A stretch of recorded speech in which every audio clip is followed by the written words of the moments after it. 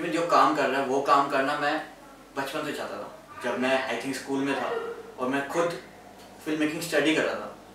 Then उस time मैं सोचता था कि यार, कोई मेरे को फ़िल्म मेकिंग सिखा दे स्कूल में आके, क्योंकि मैं ऑलरेडी जब इलेवंथ टेंथ इलेवन में था या नाइन्थ टेंथ में था, उस टाइम मैं ऑलरेडी चूज़ कर कि हाँ मेरे को फ़िल्म ही बनानी है आगे फ्यूचर में जाके।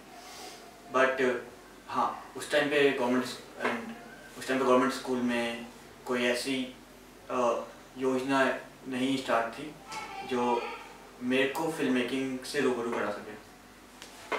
और मैंने ये सब कुछ फिर खुद ब खुद सीखा।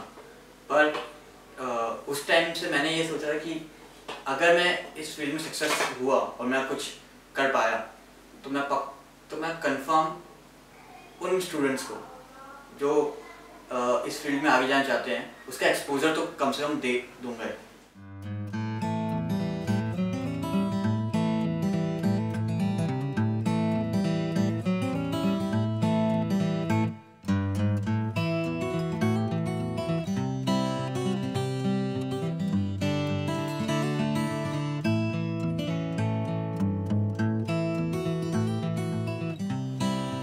I feel very connected to this project